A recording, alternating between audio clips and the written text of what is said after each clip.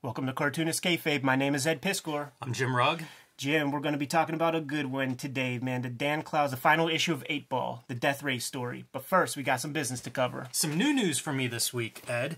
Street Angel, this hardcover from AdHouse Books, went out of print this week. Oh, get it while it's hot, baby. Everybody at home, what that means is we sent the last boxes of these to the distributor. They will be hitting comic stores or Amazon or whoever ordered them. But that's it. So if you're interested in this book, uh, pick it up soon because once it's out of print, it may be out of print for a while. And uh, you know, if you're looking for Street Angel, the other one is Deadliest Girl Alive from Image Comics, the full color collection. This one's still in print, still available wherever you buy comics. You can have your comic store ordered or whatever.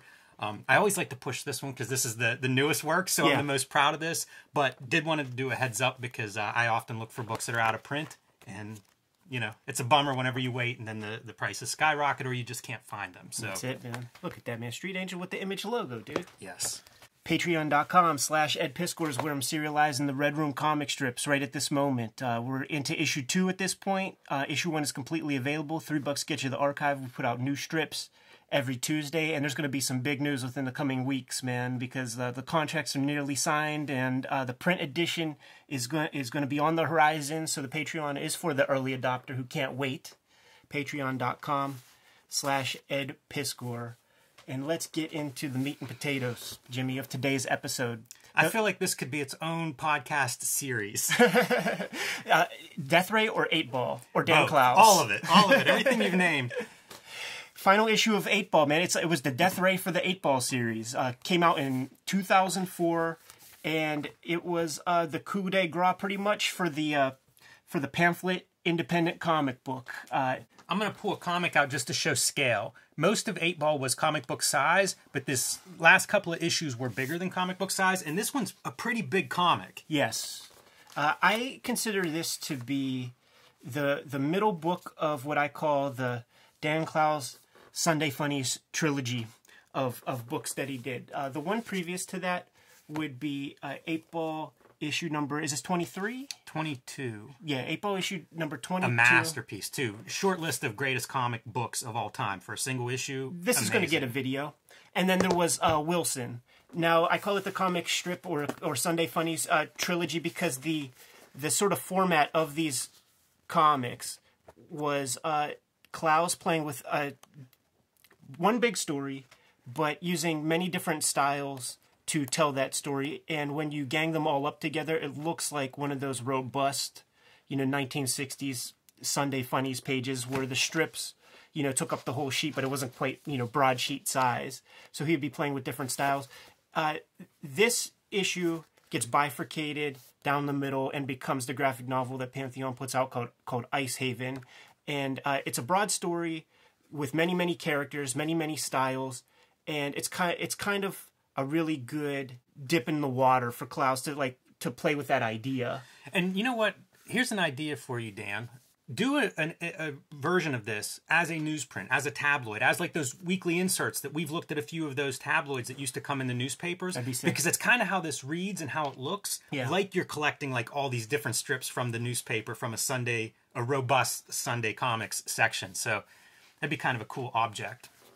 so when this came out, man, I, you know, this excited everybody for for this this kind of storytelling. Oh, you know? amazing! Yeah, definitely ahead of the curve on this this concept. And uh, this is a guy who, with the series of Eightball, um, would have maybe like one big feature per issue, and then have a bunch of the small strips and stories like throughout throughout the issues. So this is a uh, this is a cartoonist that likes to experiment.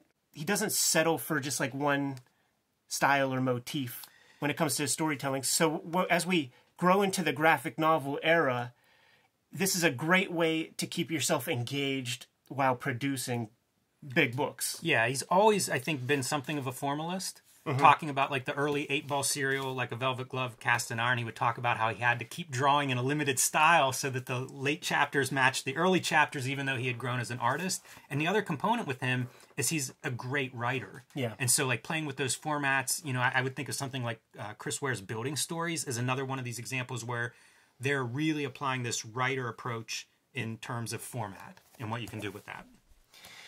So the uh, comic book comes out in 2004, and and the Drawn and Quarterly, you know, he jumped ship. He, it's WCW to WWF, and uh, you know, we now live in the graphic novel universe, man. So they slap a hardcover on it. Dan Clowes draws a couple of end papers, and they could sell it for you know three times the price of They the original also comic. sell it to a bunch of people that have never heard of Eightball or ever been in a comic shop. Right. Yeah, you'll find this in uh, your Barnes and Nobles and stuff. So it's still accessible. Not sure how accessible the original issues are. And I just want to make one wrestling correction. I feel like uh, if you're going to do WCW, WWE, I, I think Fantagraphics is, is I would think of as the WWE. Really? Jumping ship that direction. Oh, right, right, right. Like, see, uh, long, long conversation. Talk about the kayfabe, going down the kayfabe alley there.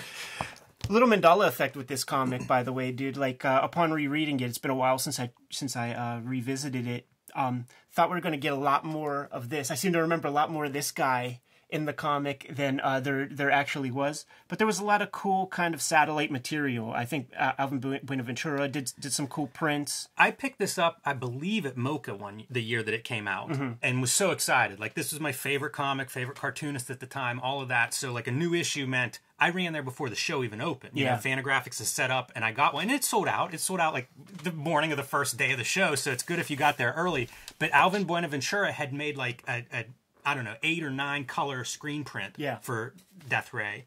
And one of my biggest regrets is not buying that. If you look through the old issues of Eightball, you'll frequently see these screen prints that, that would be Eightball related, Dan Clowes art, and they they just disappear. You talk about collector items. Once they're gone, it's impossible to track those things down. And if you do find one, they're several times the original cost. I didn't buy that print, and I've regretted it ever since. but there was a lot of coverage for this. Love this character design too. I think that's part of why it it's so uh, burnt into our heads that like, oh, this book must be full of this character because it's it's a pretty iconic design for a character that we're only going to see a few times in costume. Shades of uh, uh, Steve Ditko, you know, Absolutely. somebody that Clowes is a fan of, and I think you see it in that figure and in the costume. Clowes Clowes is a big uh, you know he's he's a comics fan through and through man so so he knows the idiom of superhero comics and uh, the the the colors of the costume all primary colors that was that was like rule number 1 over there at DC Comics when it came to uh, designing your your superhero Yeah, that's uh that's that's funny you say that. I was just reading a Jim Shooter article about color and he was talking about the rules of color and that is that is it primary colors for these superheroes. So uh you know, Spider-Man like in a lot of ways but also a little more sinister and I love the logo. It's such a bizarre, strange lettering for the fucking- logo. have the Japanese version and I showed it to you and I don't know what the fuck I did with it. Cuz cuz it just like it looks super cool. And an alien. Oh well whatever. What do you say Jim man? Should we crack this thing open and start talking comics? Yeah, let's do it. uh, I'll opt to use the the comic but go through I'll follow the along in the hardcover hardcover if I see any discrepancies. there's there's a green that that's going to come later that I'm going to be curious to see if he continued to use that same green I did some comparisons when I was reading this this week in preparation where it felt like there were changes in here, and the ones that I looked up, they weren't changes. So it, it's just, uh, we'll see what we find. Okay, super cool, man. We open up Andy 2004, and once again, this is Clowes. Uh, you know, he's telling one big story. This time, as opposed to the Ice Haven story from the previous issue of Eightball, we're pretty much focusing on one main character, but, you know, a handful of characters uh, throughout the whole story. So he's able to do a more focused, tighter story, playing with the motif of different styles and doing many, many strips therein. We're introduced to the, the character of Andy. And uh, would you say off the bat, he's a little bit of an unreliable uh, narrator from the start. He's unreliable and he's unlikable. And, and, you know, we get it, we get it right around here where he's like, you know, I don't hate all of humanity, and You know, the, the thing about the unreliable narrator part, this is something that uh, Clowes does, and the unlikable character, something Clowes does in a lot of his work that I admire because this is human. Yes. You know, we are, anytime Andy's talking, it's, it's, it's, he's a good guy. It's through his point of view and his bias, and that's everybody I know, including me. Sure. You know, if I'm telling you the story, I'm probably the guy who was wronged. I'm probably the guy who didn't do anything wrong. You know, that's just the way it works. And uh, Clowes is really good at writing that kind of character, and it can be off-putting to readers. I, I've seen negative feedback Yeah. to some of his comics because these characters are unlikable, but it makes for a really compelling character in a literary sense because he's so fallen. I was reading uh, through the the uh, Chris Ware sketchbooks, and he just writes these little notes to himself. And this one note like really struck me uh, when I think about like you know the best of comics. And he's the note to himself is something about like uh, the goal of making great art is to create a real moment for somebody who hasn't been born yet. And there are some things that happen in here that we can all identify with that I've never seen explored in pop culture. Uh, when do you have anything for these pages? I, I want to point out the color is something that's actually happening, right? This is all internal. The the one color part is all sort of Andy's internal, not exactly monologue, but kind of th- thought process, thinking Yeah. through whatever he's experiencing in the world. And then this is when we see color, it's like, oh, this is happening. You know, you get a little bit of this other person involved where it's maybe more objective than the rest of it. Right. The the cool thing is about this sequence, and and frankly, like these are dialogue balloons. It is literally a monologue, and uh, this is his way to get to sell us on the character without the use of captioning and showing different sequences. It's it's the unreliable like this happens in in stage plays that where it starts off. Character talks to the crowd, and then you jump into the story. and his work is full of this kind of stuff that's comic specific. You know, this doesn't this doesn't translate to film. It would Right. be it would be handled differently. It could be a voiceover. It could be you know there are different ways you might handle this. But he does a lot of this stuff that's very comics only sort of effects. one of the things that we very rarely see uh, in pop culture is the nerd character is usually the the lovable like you know wh- why doesn't the rest of the school see what we see in that character but in truth and you probably could fucking name names i know i certainly can there were nerdy kids in school who were there in that position because they were fucking assholes and pieces of shit Antisocial. I'll point out Ditko Spider Man is that way. He's not Peter Parker's not that likable in Ditko Spider Man. That is a flawed character. If you're referencing some Ditko, it makes sense here. Also, I'll call attention to the origin of Andy, this title, this blustery kind of superhero vernacular title. Clowes is a is an exceptional writer. I mean, he has a at least an Academy Award nomination for writing a screenplay. I can't remember if he won Ghost that or not. yeah. Um, but I mean, in, very uh, calculated in the language he uses. And this being a superhero comic, we're going to see things like origins and, and that kind of language. and this two page spread uh, where very quickly you know this is four pages into the comic we know who andy is. He's basically orphaned living with his grandpap. His friend louis even asks like what happens if your grandpap dies? Your grandpap who is belligerent and certainly in at least at the beginning of the story the early stages of dementia Right. it's going to get accelerated as the as the story progresses. Uh, so you know he's the boy's on an island man he doesn't have anybody No, this is his girlfriend who is like somebody he met at camp or something and writes letters to. And, and throughout the story, you'll see she doesn't respond to those letters. As, the, as he becomes an adult, there's some sort of incident with her. So he really is isolated. There, there's, there's nobody really in his life. Louis kind of a, he's a piece of work himself. And we'll see that as the story unfolds. But his only real person he talks to. And there are those those scenarios too, man. Like you've seen it in school where like there are the kids that sit at the lunch table with each other just because nobody else will accept them. It doesn't mean that they're friends. Right. What do you think of Andy? And and now we get the perspective of the kids at school and what they think of Andy. And he's almost a non-entity. and another example of a comic trope. You know, this is not something that would be easy to do in other media. I love this little sequence here because it really pays off a little bit later when we see where the hostility in Louis comes from. He's at the dinner table with his mom, with his sister, sister's boyfriend, and he's like a hippie out of central casting, like a real kind of you know Matthew McConaughey, dazed and confused kind of kind of character. And uh, you know L- Louis doesn't like him. It's a great family s dinner scene. Here's another really good uh, sequence with this with this character Stube. There are maybe three or four like if this was standard average piece of pop culture, this is your bully character, right? And we see maybe three, four incidents involving Stube where the kids are fucking pieces of shit assholes to him first. yes. Yeah. You don't see that in Freaks and Geeks or something like that. This is one of the other characters too. There aren't that many characters, so it's worth noting. This is kind of the housekeeper caretaker character, mostly there to take care of uh, of Andy's grandfather, um, but one of the few people in Andy's lives. You know, like we can list it's grandfather, it's Louis, it's the housekeeper caretaker is basically who Andy talks to. Yeah. Uh, yeah, not not not much in his life for that. So But maybe the only kind of wholesome good character in the entire book. Right, and also like the only woman really that that Andy's interacting with. So it's mother, it's uh, fantasy, it's it's every every role that you know a woman might occupy in your life is all wrapped up in one because that's the only woman in, in Andy's life. Is that a little callback to Ice Haven? Could be, or Eightball reference, right?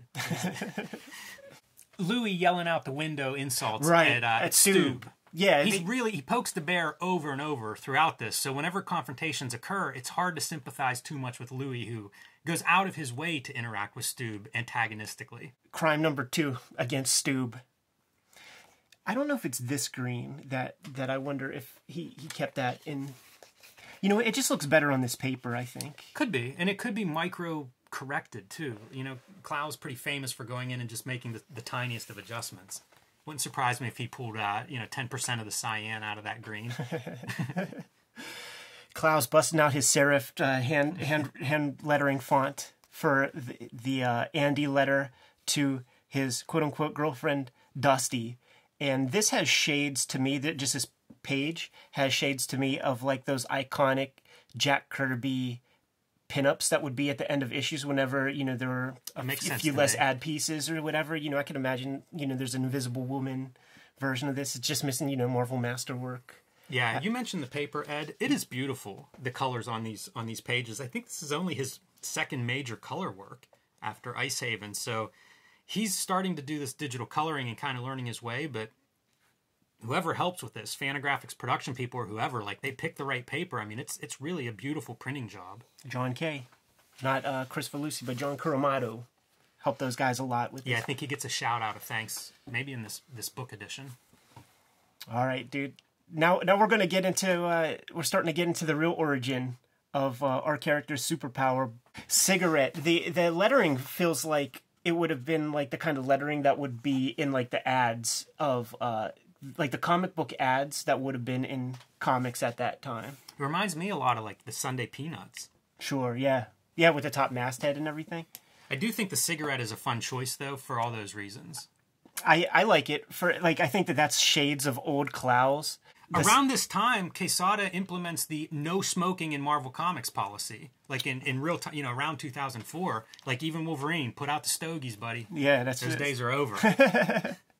it could be a reference to how comics were treated. You know, forever comics were this underground medium, even the Marvel DC stuff where it was like it's a child's medium, throw it away, you don't want to be seen reading it, it's garbage.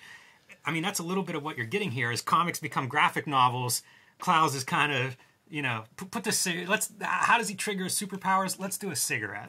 let's remind everybody that this is trashy origins of comics. Oh, it's so good, man. And this is the ex- exposition of like you know this is the Wolverine. I'm the best there is at what I do kind of captioning where he's feeling you know the pulsing surge of the nicotine going through his body and he could perform superheroic actions. It's so amazing, like what he does to to show us that. Rip the Odyssey in half, hilarious. Lift a car a couple inches off the ground. And I mean, there's literally like he's a wet noodle, and there's little drips coming from his minuscule bicep. yeah, so you superhero fans at home, man, enjoy that. Enjoy that strip. Next day at school, uh, we're gonna get some glimpses of uh, Andy's Andy's power in action when uh, Louis and Stoob are gonna meet in the courtyard at you know 3 p.m. and settle their differences. He even gives him a chance to get out. You sure you want to do this? yes, he beats the shit out of Louis. Nothing. But how about this? Louis' friend sees this happening and thinks maybe the cigarettes can help him, but that's such a great panel of his head in, in shadow. It's almost a mask. Like you could see a superhero mask like that, where the bottom part of the face is still sticking out. Jimmy, it's the only way you could get a guy with a Dutch boy haircut to look sinister. Almost no country for old men, like the little brother of. Uh... For sure, man. Really interesting texture with uh, the Stoob hair, and uh, we're, let's let's go the opposite of Kirby. Let's not give you the moment of impact. Just show you a little of that aftermath. It's a cool panel. It's just a word balloon. It's the only thing in that panel, and some of those speed lines. That's a really interesting panel. Reminds me a little bit of some of the stuff Chris Ware does with text in panels. But yeah, that's that's a great storytelling gimmick for a fight. Kayfabers out there, like let's see the How to Draw Comics the Marvel Way version of the Death Ray, man, because there are a lot of things in here that would look super fun, and it would be totally kind of like out of context if you ramp it up with Kirby energy. Some of the fight sequences. Uh, there's one panel in particular that's going to come come later that I would love to see with some How to Draw Comics the Marvel Way treatment. And by the way, these first like ten pages would all be condensed down into like your origin blurb. we're, we're, trying to get to this point. you have like a six-page sequence of him beating Stoob up. Andy passes the hell out, and uh, now we have the origin of uh, Death Ray. You know, they they saw what kind of prowess uh, Andy had with his. You know, he could he could throw throw them things, man. And uh, Louis immediately is like he's he's the Steve Jobs of the crew. He like he wants to call ownership on on Andy's talents and abilities. Yeah, and we see Louis undergoing changes too. He goes to New York, finds punk rock, cuts his hair short, comes back. He's a new guy, kind of the same way Andy has changed. Uh, you know, they're both reaching this point, right? And a lot of Clowes, you know, Ghost World being Clowes' probably best known work, similar territory of like that coming of age, that change that you know you're going through between adolescence and adulthood.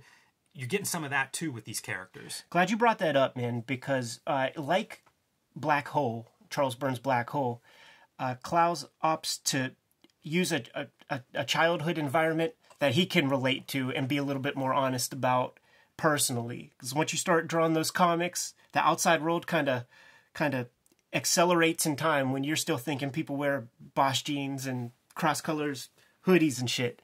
So using a period of time that that he sort of knows well to try to you know make the the whole situation feel a little bit more real to him as he's drawing the thing. But what happens here is, you know, we establish cigarettes give this kid his powers, so he's uh he's he's become a smoker, man. He's he's trying to see what he's uh, he can do. He keeps a low level of nicotine in his body at all times, but then he gets he gets uh, the nut up to smoke cool cigarettes here and there. The housekeeper sees him on the streets, drives him home, and uh, Andy's grandpap, when he's waiting for you know his punishment or whatever, his grandpap comes in, brings him a package that was never open, and, and just said that uh, you know your dad your dad left this for you, and wanted me to give it to you whenever you started smoking.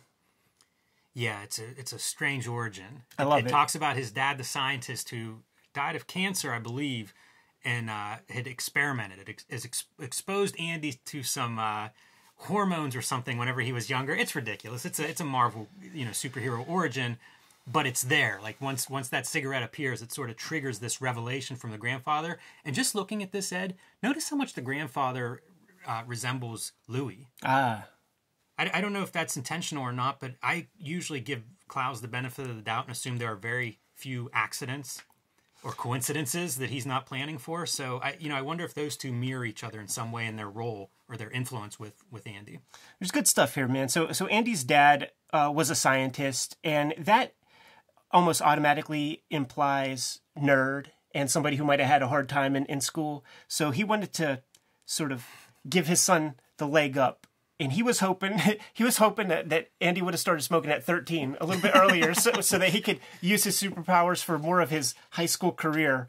But Andy's such a nerd that he didn't start smoking until he was 17 here's the Mandela effect man because I thought there was a lot more of this in in the book uh, than there really is man. But this two page spread freaking incredible especially given the the fact that the original art is drawn way bigger than your 11 by 17 image area so I think this is in the Dan Clowes Studio Edition, reprinted in uh, you know the exact size of the original artboards. Amazing. Yeah, I'm gonna go home and look at that artist edition again just from looking through this. but this is kind of this is the the apex of the superhero part of this comic, at least in terms of the art presentation. This is, you know, even nods to image comics with a two page splash because that's not something you were getting in in the typical 60s you know marvel dc superhero comics there weren't two page splashes back then That's true. That's true. Jim, critique that gun, man. It looks like a 10 out of 10 to me. yeah i'm happy with that i, I bet there was some reference involved in drawing that gun it is funny this part and you see it in different superhero stories contemporary superhero stories is like what do you do once you have these powers it's kind of impossible and you see a lot of that uh, of these guys you know trying to figure this stuff out like what do we do with this? As you get to be an adult. It's the part that doesn't add up with like kids superhero comics where it's like oh, i'm just hanging out in a building and i see some some muggers or, or somebody's going to commit robbery or whatever. It's like eh i don't know man. You sit on buildings a long time before you witness that. One of the good uh, examples that, that I remember it was like in uh, in uh, Fight Club. Whenever the the uh, the homework was to go out and get into a fight, and people were like trying, and people were just like, get the fuck away right from me, yeah you're yeah that's a version of this All right, then uh, they're, they're playing some Sandlot baseball. They can't figure out what the heck to do with the powers, so Andy's going to put it to use uh, at, on the baseball field. But of course, in Clowesian fashion, all he does he hits that ball five blocks away, but it's still just a foul ball, and, ball. He, and he and he swings out. I mean, he stri- he strikes out. Yeah, the plan was to hit a line drive back at, at some kid they hate, but uh, not not quite there. This was always in my mind the argument about steroids in baseball. It's not going to help you hit the ball. It may help you hit the ball further, but it's not going to help you hit that ball. Sure. Playing with colored inks here too. This is like a very deep blue rather than um, just the the um, dark black. Coach reaches out to Andy too. It's a chance for, and he even looks like uh, Louis before Yeah. Louis got the haircut. Right. And it's almost like this would have been a lifeline. This would have been an alternative life for Andy if he follows that path or gives that a shot. you know, it's a chance to not be isolated. It could be dicey, man, depending on who you hook up with and who you find kinship with when when, you, when you're in school, man, and, and sometimes. Oh, when you're in life too. I mean, what's the easiest way, you, you know, to, to succeed or fail is who you surround yourself with. Absolutely. Jimmy, did we skip a part where a freaking squirrel got got its comeuppance? No, no, no, we haven't. We haven't seen the death ray yet. Okay, okay, cool, man. Um, the Adventures of the Death Ray. So Andy has his powers. He's sitting there smoking, and uh, this is like that Fight Club scene where uh, we got Louis. He's he's the bait. You know, he's the bait. Those cuff jeans, man, that would catch that would catch a fist to the jaw in Homestead. Yeah, this is this is the furthest thing too. Even if this turns into a fight, it's so far from a crime. I know. it's, they're just trying. He's like, whenever this doesn't work, Louis like, maybe we can go to Arizona and, and beat the shit out of my dad. he uh, that's what I mean. He really wants to like take ownership. Like he and, and Andy has this power, but Louis the guy that wants to put that shit to use ASAP. And we see so many examples of it early, and that's important for a little bit later. Yeah, Louis has a lot of hu- hubris, and uh, he's kind of the, the brains of this operation, at least in his mind. Which ain't saying much. No, it's not. See, again, be careful who you surround yourself with. If Louis the leader, you're in trouble. this is Stube reaches out to Andy to come to uh, to come to his party. Louis smells a trap, and uh, in the middle of this, there's this fantasy that uh, Andy has about his grandfather dying, but nothing comes of any of this really. You know, they go to the party, they wait outside to see what's happening. It looks like a normal, you know, normal party, people just hanging out, and uh, They smell ambush. yeah, yeah. Lou- Louis sure that's not. They're just waiting for him to show up, and they imply that they do something to Stube's car later on. Stube's going to want like 240 bucks for it. We don't see it. In my mind, I thought they flipped it over on its roof, but that doesn't happen in either of these editions. So Right. it's just in my head. Yeah, that's what I'm saying. There's like this Mandela effect that, that just happens from remember these comics different than than they really were, man. Uh, so that we just passed the Adventures of Death Ray. Let's go to the further Adventures of Death Ray. So now, uh, since since Louis ain't good bait, they're gonna put out a wallet with some money in it. and then this, I was gonna say, and he picks it up.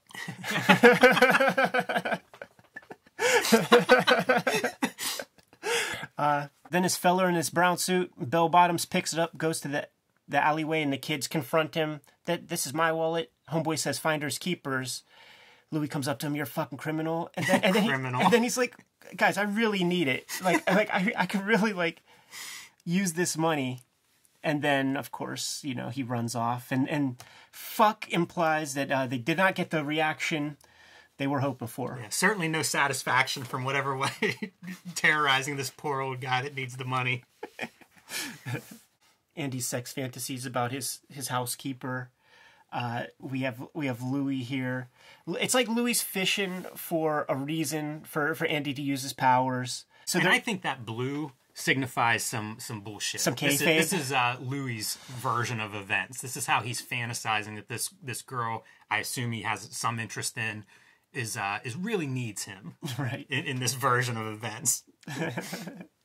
now now this is this is fun stuff. So they're gonna go confront and and this is this is Andy. We seen we seen in the past like all this shit like shit fuck me Andy like all this stuff. We've seen it before, and you imagine that it was like masturbation thing, but now we get to see who who. His This is a strange. This is a, a great drawing for like uh, fantasy where he's almost not even there. Like like he's such an empty cipher in the fantasy. Right. Here's the girl's father, and the boys are going to go confront him. And what I love about this the most is uh, that even when the boys start fighting this guy, they're kind of such milksops in a lot of ways that the guy's still just worried about the dog. So he's getting punched by these kids, and he's like, hey, don't let my dog get away. And he gets a good one in and then as they leave and wrap wrap up, like it could have been drawn straight, right? Like it could have been these two dudes, you know, dusting off their their shirts and walking home. But how does Clowes handle it, man? Superhero and sidekick, Yeah. genius. Yeah, even nods to like '60s TV Batman. But it's still a Dan Clowes comic, right? So like when we get back to school the next day, that girl comes up to him and is like, "You fucking pieces of shit! My you beat up my dad and my dog ran away forever, and I'll never, I'll I'll never see my puppy again." This is a strange bit. Is there uh, fantasizing and going through this whole process? In the fantasy, we then cut to Andy, like in uh, back back to reality. Right. It's it's, uh, it's almost like there's two versions of Andy existing in this in their weird world. Yeah, and that's a great use of the real estate of, of the page with that panel right there for sure. So we see what uh, I, I like this so much, man. We see what you know. This is the idealized version of uh, you know how, how Andy sees himself. Let's take a look at what it really looks like, man. I don't know when this came out in conjunction with Kick Ass, but you know that comes to mind. I think this preceded Kick Ass. I think so too. And we have a page with an honest to goodness crime actually happens while he's wearing his gimmicks, man. A couple of crackheads are stealing this dude's television. Andy chases him down. The television falls. There's no good ending to that moment. Yeah, it's unsatisfying. And he even like he's finally found some people doing a crime that he can stop, and he says it kind of it doesn't feel great. Kind of feels like homework. And I don't know that it's even we're even sure that that these are the same guys. You know, they're in shadow. So uh, Andy, you know, takes a couple of puffs and just gives them the what for. Slinks back home. yeah, that mask is so funny compared to the uh, the real the I don't know fantasy I guess Death Ray mask. Yeah, man. The Dutch boy haircut still sticking out. he looks, you know, it's like a uh, Fat Albert character or something. This is the double heel turn of the issue, this target practice page, man, where they get a hold of the Death Ray. I'm trying to figure out. I was thinking there was a scene where the Death Ray arrives, where we see him get the Death Ray in the mail. Yeah. But I, I don't I don't see it anywhere. Like they talk about it in, in the page we just saw. He talks about that process of getting it from his aunt, but we never see it arrive, like in the box or whatever. Which not a big deal, except if you start thinking about this in terms of like how much of this is fantasy. Right. How unreliable is Andy as a narrator? Because here we are with the Death Ray, the title of the book. The Death Ray. They've gotten hold of it. Looks like a hair dryer or a kid's toy or something. I'm so glad you brought it up because what what you're essentially saying is is like the the richness of the story creates like s- such a mental picture that like there are things that we remember visually but like they happen in words and there's a lot of that here and that's the beauty of co- reading comics where the captions don't, don't explicitly tell you what the fuck is happening in a picture or same panel Yeah, it's almost the ingredients go in your brain and then it plays out there in your head. right Yeah, it's it's it is weird rereading this and noticing these things that I thought I saw. Yeah. and it's established Louis Louis don't know what to do. Like the death ray doesn't work with him. You need some biometrics in that shit, dude. It's got that. It's got the um the iPhone thumb thumb uh recognition shit in it. Man, it's if you think about this as all being fantasy, it's almost like everybody's an angry youth, right? We're all mm-hmm. full of angst at that age. Andy has the capability to kill, and it's where they separate he and Louis. You know, it's not necessarily if if the death ray isn't real. I mean, that's what you're seeing as a separation. What makes these two characters different from each other is almost like that thing in your brain that allows you to be Jeffrey Dahmer versus everybody else who's angry and, and outgrows it. You know, kind of internalizes it or whatever pretty interesting. But this was a this is a haunting page. This is when things really start to take a turn. So they start out with bottles, you know, like you might do if you had a BB gun or something to play with, and uh, Andy's able to make these things just disappear. And the the haunting thing with this gun is there's no answer to what happens. Do Right. they teleport somewhere? Do they are they alive in another dimension, an alternate alternate universe, or what? Like they just disappear with no sign of ever having been there. No ashes, nothing. And that's displayed with this little uh Right now, it's time to try it on something alive. Yeah. you, you quickly graduate with that BB gun from your uh, from your bottles, empty glass bottles, to uh, there's a squirrel over here that has no idea what we're planning, and art style change. He's a different guy after this happens. super ominous, man. Like in that bed, staring at this up at the sky. You see these clouds like in the room, and it's just like we don't know what he's thinking. He just did a big thing. He took a life, and we don't know what he's thinking, and that adds to the haunting nature because this could go any number of ways. There are a bunch of these panels that Clowes draws where a character or an object is barely in the panel. I just make note of that because as we go forward, you're going to see more of it. Yeah. and it sort of adds to that sense of unreliability where it's like, what are what are we looking at exactly? There, I'll point them out as we see them, but it's a pretty interesting thing for. I've never done a panel like that. Sure, uh, so many cool choices. So many choices that are the antithesis of uh, your Marvel comic, and and this is one. Like, like, how would you not push him back and like let us Right. see all the energy and Kirby fucking crackle coming out of that thing? Yeah, it's really some bold decisions. It adds to that sense of being just off, you know, uncomfortable. It's almost David Lynchian in that sense of like, it just doesn't feel right looking at this. About to introduce one of my favorite characters of the strip, man, Sonny. So this strip uh, shows us kind of the hostility that Louis had with that boyfriend when they were at that, that dinner table earlier in the comic, because he's still friends with an ex-boyfriend of his sister's, who's way one of these guys way older than than the boys. L- you know, like lets him lets him drink beers in her house or whatever, and just laments that uh, you know she, she's no longer with him that that guy she's with now, he's probably feeding her drugs and shit, and and it, this is the kind of stuff that Louis parrots uh, at the dinner table whenever that guy's sitting there. Yeah, there's a lot to unpack with this dude. For one thing, we start out with with having Andy get a haircut that looks like Louis. Right. But then he goes and befriends Sonny, who has a haircut that looks like Andy before he gets the Louis haircut. Right. And you know, a lot more in common with this guy could be Andy. This this could be, you know, t- 33 year old Andy. Uh, hanging out with that guy is just such an uncomfortable thing to make a connection with, too. Um, they find the dog, they find Lucy that ran away. And uh, Andy thinks, great, you give that back to, to Janet. She'll she'll she'll be you know right back on board with you. And he's like, no, I'm keeping the dog. So Lou, everybody's a dick. Yeah, like like even right here, let's see, man. Uh, Louis kind of flippantly says something about like, "Hey, man, you find anything else to to incinerate and, and murder?" And this is where Andy finally gets his nut up with his homeboy, and this right this moment creates the tension going forward, and because because Louis knows what uh, Andy's capable of, probably better than anybody else in the universe, and now Andy's getting uh, he's sticking up for himself in a certain way. He's just like, yo, don't ever joke about that, man.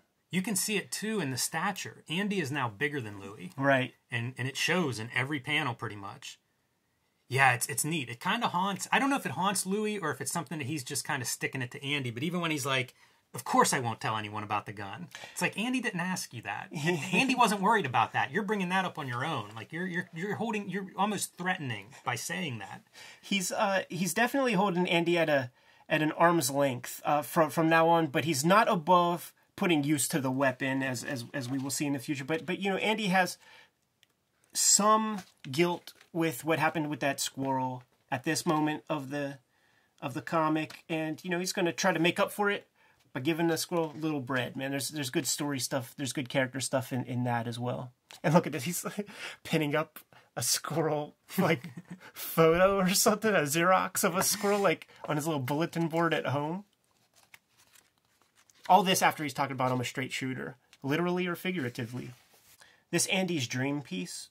It's him being becoming more alone. You know, it's dreams about his grandfather losing it, you know, basically losing his grandfather, and then it's dreams about that caretaker, you know, sexual fantasy dreams about this caretaker, which is just not a relationship that's ever going to happen. So in a way, like his connection to her is being pushed away too.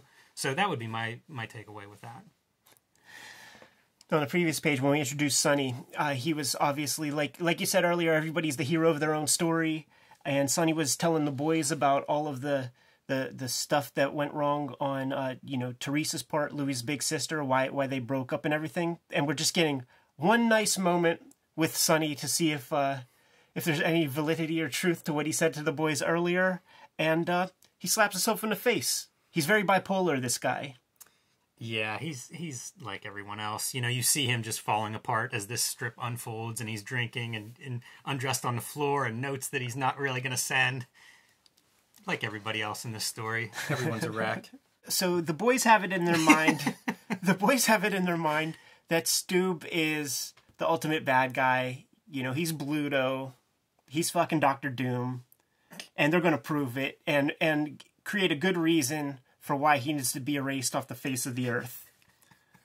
So Louis is Louis is casting himself in the role of uh, the girl tra- tied to the train tracks. Damsel in distress.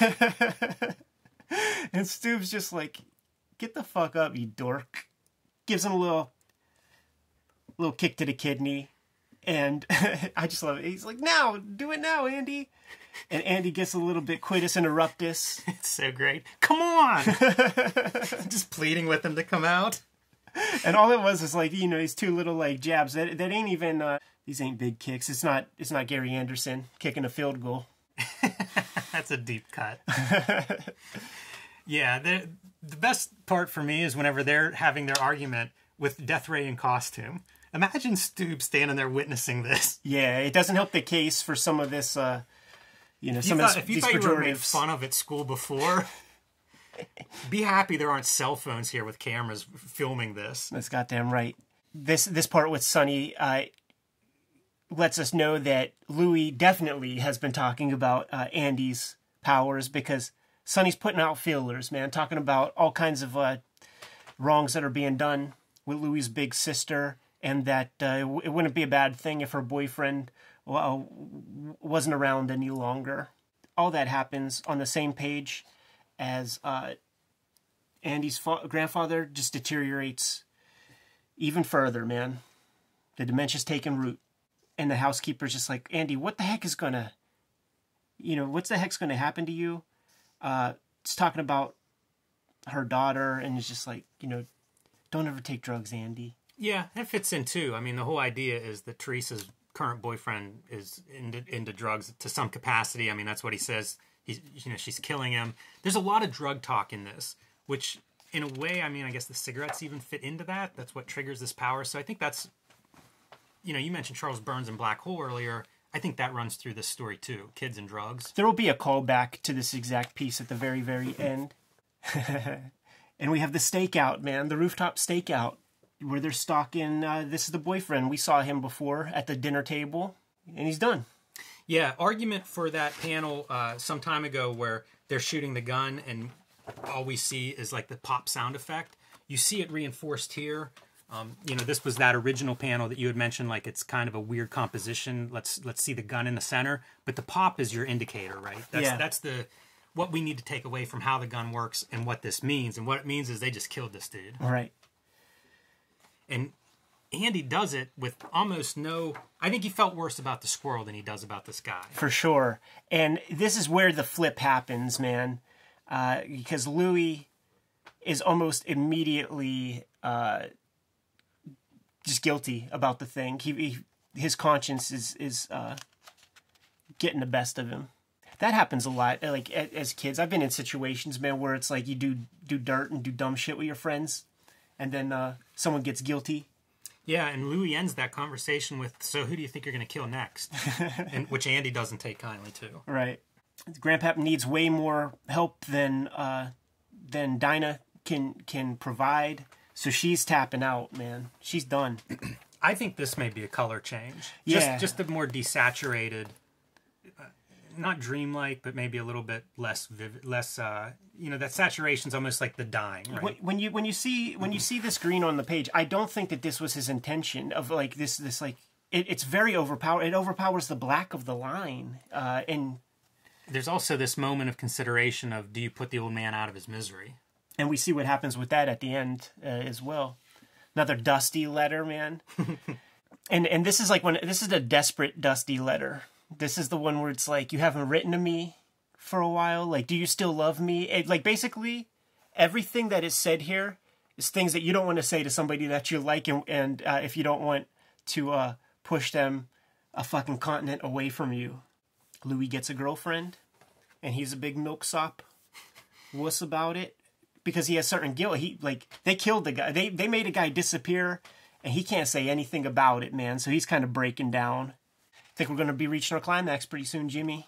Louis has an idea, man, but uh, Andy, where's the gun? You need to need to pull that thing out, dude. We got it. We got a mission. Andy's such a doofus, man. Sitting there eating with Grandpap, get a knock at the door.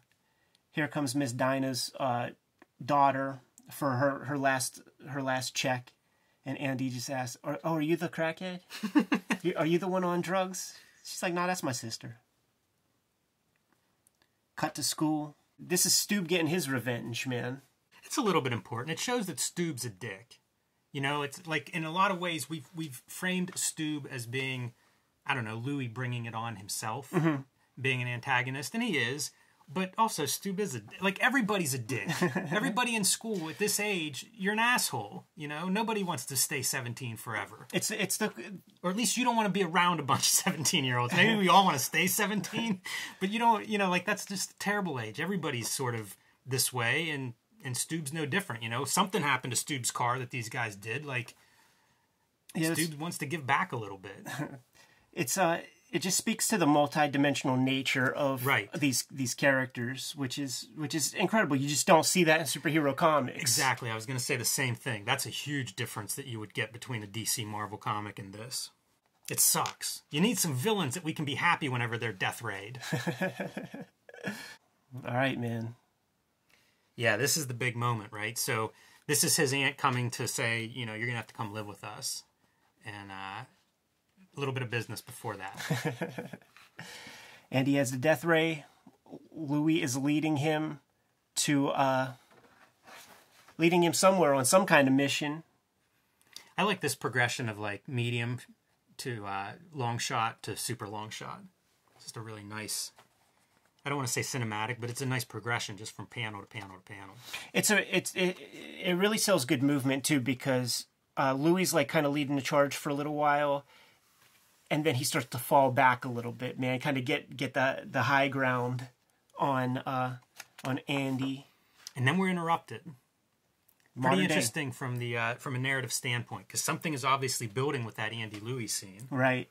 Talks about falling off the wagon, and you know, and he's this, you know, he's a he's a doughy, middle aged guy, man, lamenting, you know, his his past, you and and once again, he's still the guy who's always being wrong. So a couple divorces, got cucked out by the by the by the ex wives and stuff. This is all of these like uh, kind of pink panels.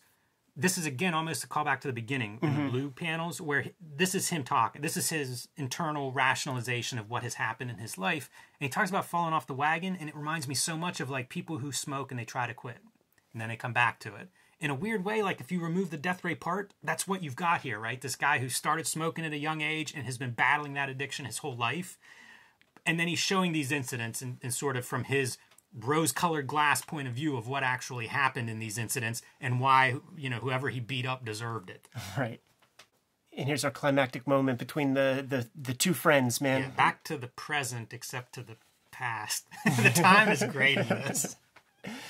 Got to put Andy down, man. We saw uh, there was some parts earlier where Louis gave Andy a call and was just like, you know, when we killed uh, my my sister's boyfriend, like I don't know that he needed to die. Like feeling lots of guilt over what uh, what transpired, and Louis, you know, it's Louis got to put put the kid down, man. The kid the kid could be a menace. The kid.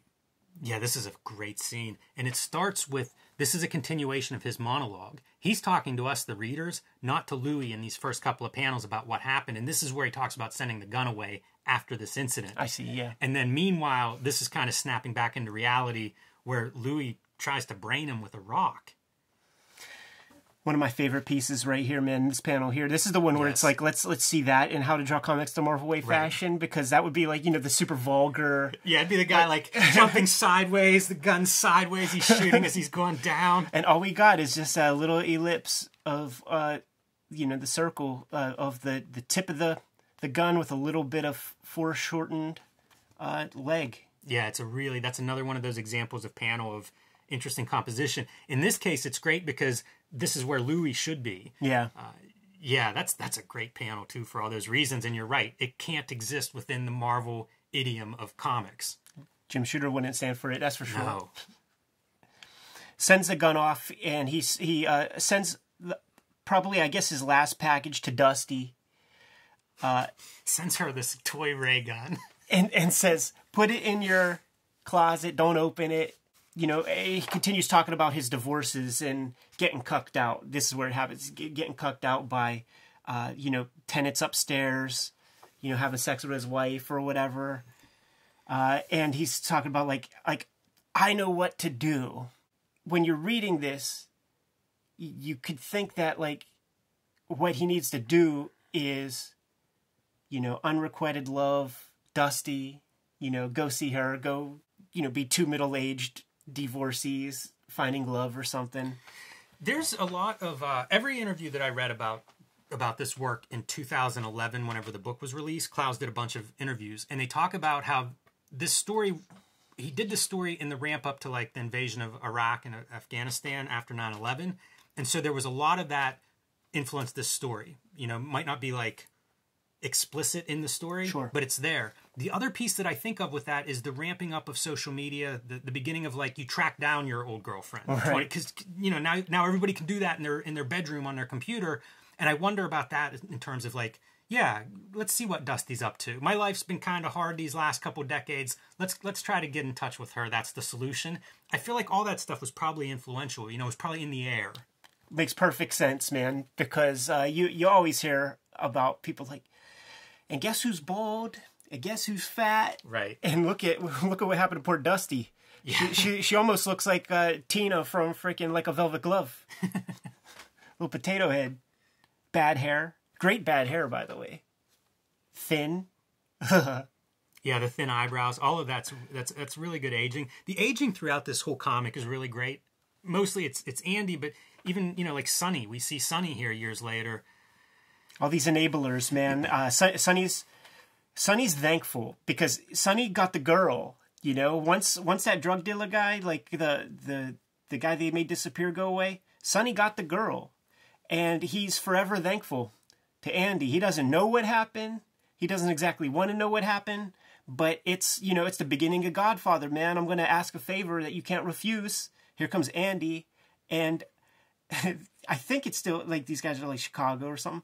Uh, Sonny gets a knock at the door and has to tell his woman, "I'm driving to California with this dude."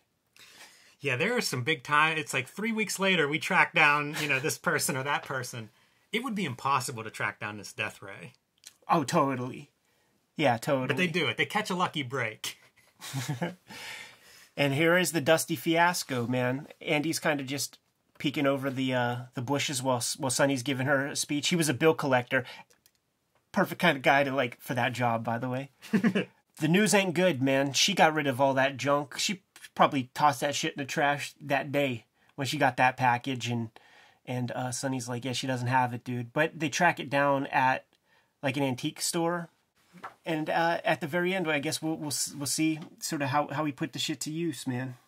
But not before running into Stube at uh, the final hour. Actually, it is before he runs into Stube, because here's another one of those panels of like the barely visible death ray shooting the guy on the bench from a long way off in the back because the guy, you know, told him not to litter or something. Whatever the confrontation was, completely disproportionate. Uh, but it's that kind of like all of this stuff just barely happens.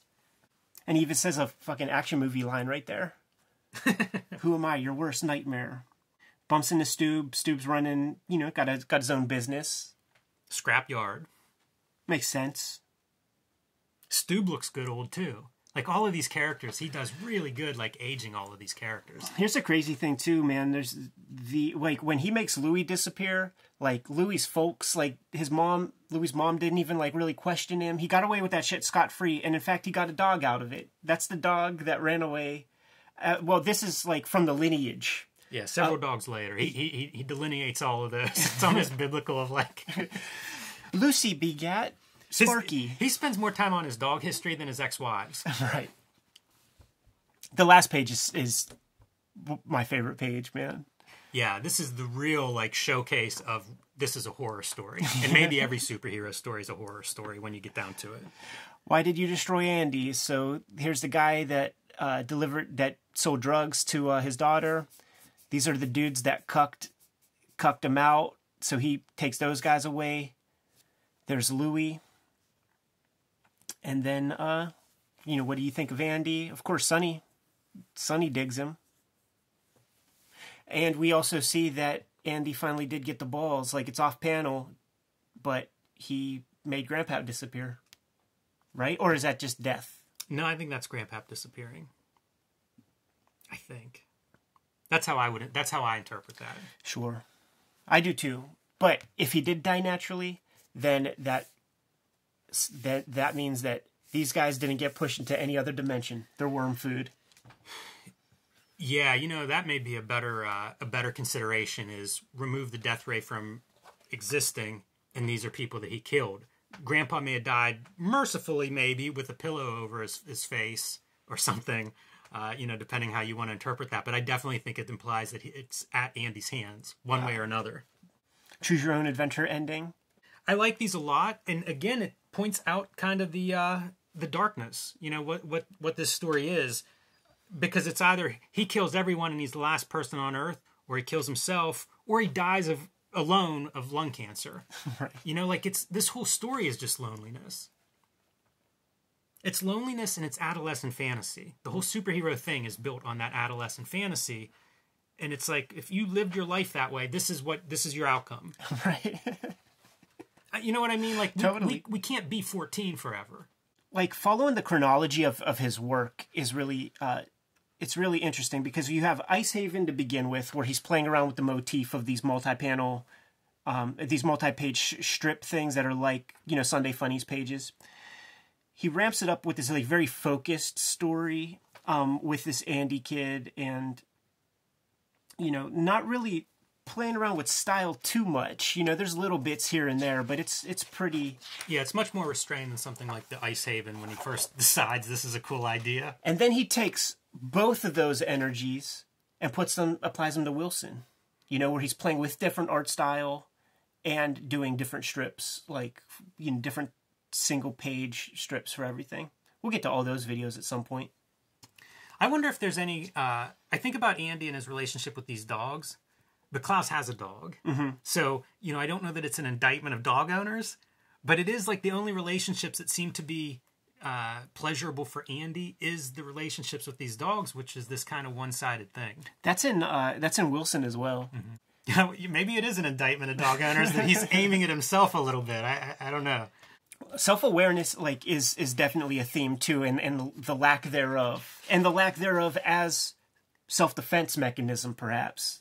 Yeah, and I think that has to exist. I do To too, some- or else you just go extent. nuts. Right. You know, one piece that we um, that we glossed over, and I was thinking at one point that I might have made it up, is the last time we see Miss Dinah is uh, Andy makes a pass at her, All right. and that's kind of when she leaves. Like it's partially Grandpa's getting to be more than she can handle, but also like Junior's getting to be more than she can handle too. and and just like the the perfect cartooning on her eyes there's that's that's a exasperated look man with just like you know three brush strokes Yeah, there's a lot of that though. You know where he's you know it's clouds man cartooning mastery.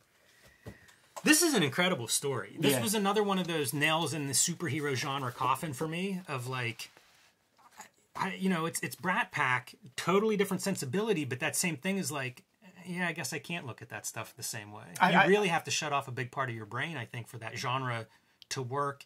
I don't even want to say in an ironic way. You know, I don't know that this is ironic. I think this is an amazing superhero story. i think it's one it's one of my I, top five if, if not number one for me I would highly recommend it if people are watching this video and they haven't read this.